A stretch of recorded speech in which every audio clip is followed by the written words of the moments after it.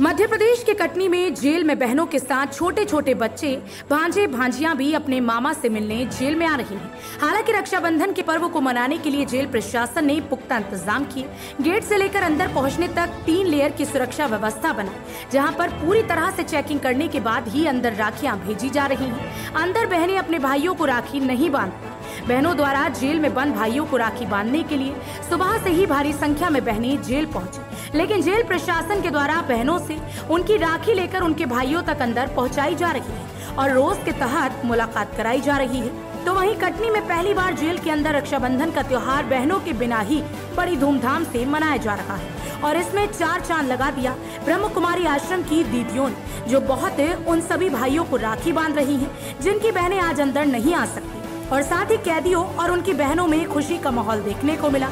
तो वहीं कैदियों की बहनें भी बहुत खुश नज़र आ रही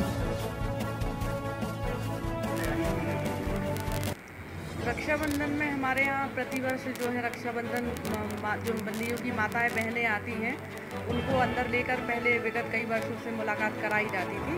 परंतु कोरोना काल चल रहा है, अभी कोरोना पूरी तरह गया नहीं है, इसलिए अभी जो है मुलाकात, जैसे सामान्य मुलाकात होती है बंदियों की उसी प्रकार से मुलाकात कराई जा रही है और राखी जो है वो एक पैकेट में रख के और नाम लिख के जमा कराई जा रही है और उनको बंदियों को दे देंगे।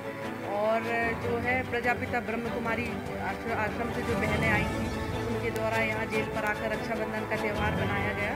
जैसे चार सौ बासठ करीब बंदी हैं इस समय।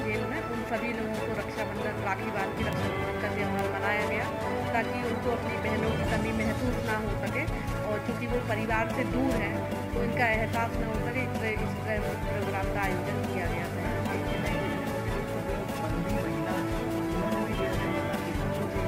तो उन्होंने इसलिए कि यहाँ पर जो स्टाफ यहाँ पर ड्यूटी में है, कई किसी के भाई है यहाँ पर तो उनको मतलब ऐसा मौका दिया गया कि यहाँ बिठाकर उनके अंदर हैं उनको तो राखी बांधने का मौका मिले